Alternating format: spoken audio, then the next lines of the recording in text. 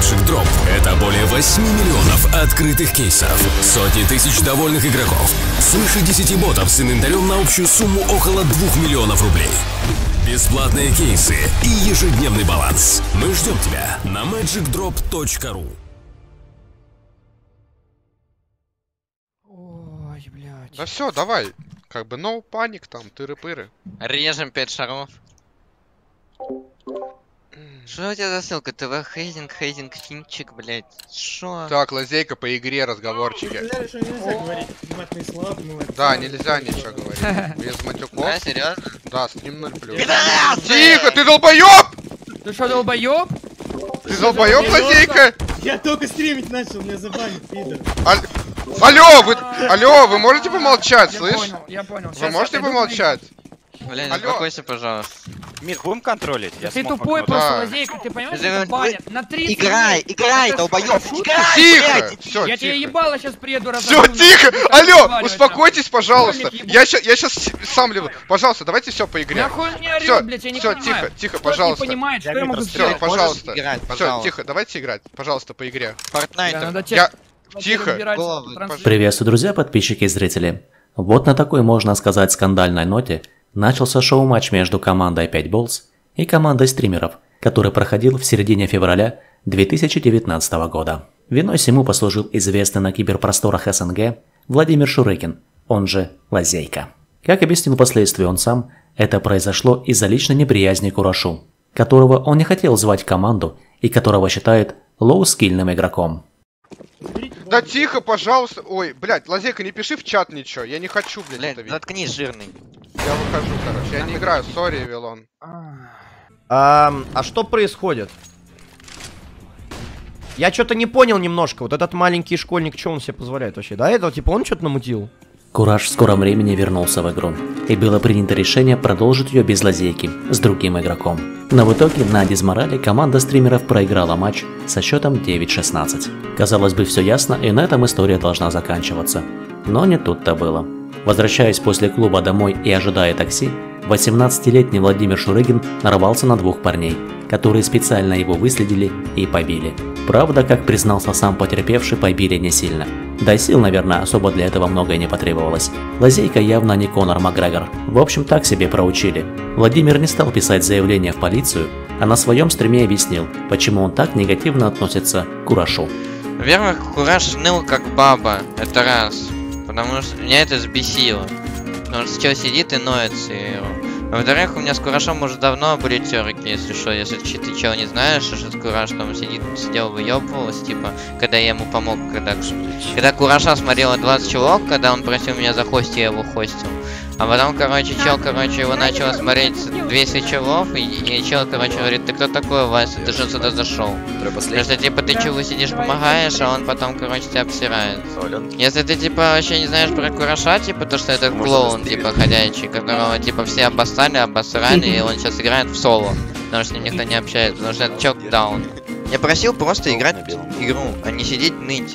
У меня челы ноют. Сначала погуляет, ничего не говорит. Я, я сижу, меня с- челы спрашивают из 5 что случилось? Сказал. Я объясняю, что случилось, мне 5 говорит, Лазейка, зачем ты пишешь, ничего не пиши, сидит, ноет, свое вот это жирное лицо открыл, и, и- и сидит, ноет просто в спике. Ну не знаю, нахер ты вообще высираешь, сидишь в чате, ты, типа, просто у тебя мнения своего даже нет.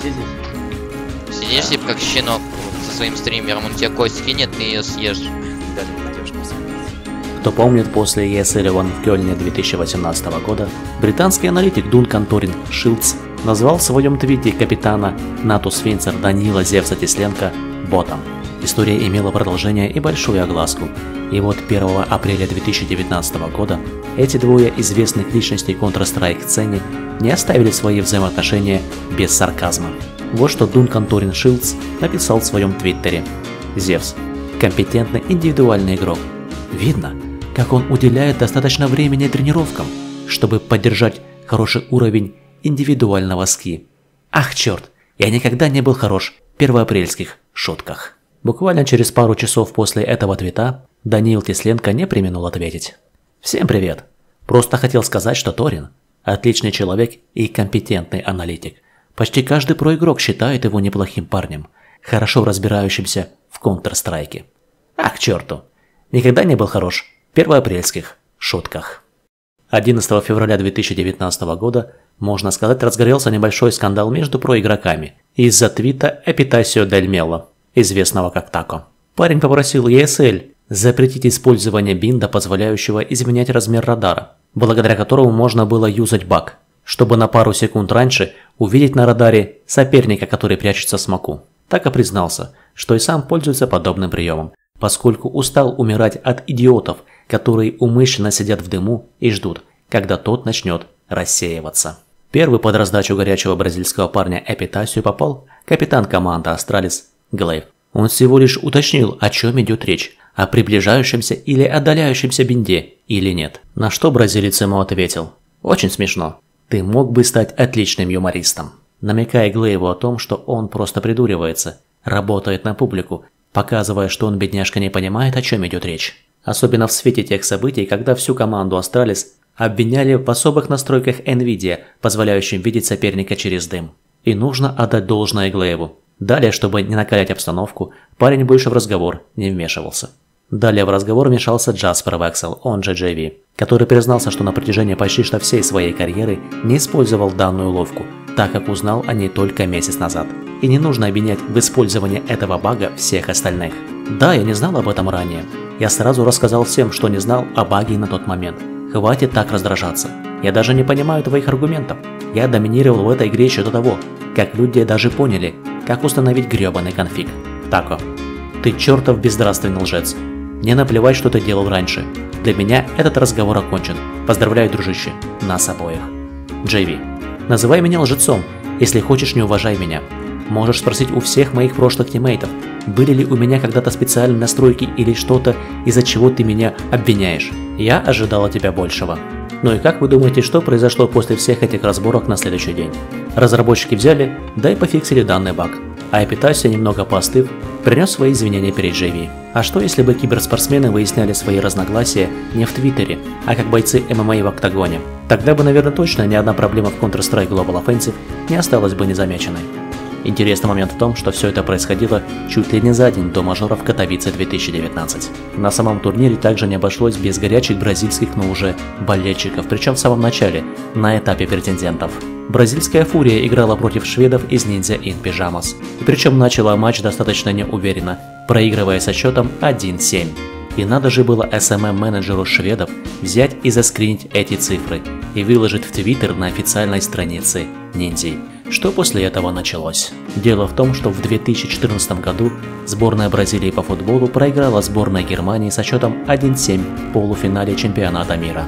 Бразильские фанаты, увидев такой скрин в Твиттере, поняли намек и приняли в итоге его слишком близко к сердцу. СММ-менеджеру Непов посыпались сотни угроз. Ты, мусор, умрешь, когда приедешь к нам в страну. Вот увидишь, получишь с ножа здесь, в Бразилии.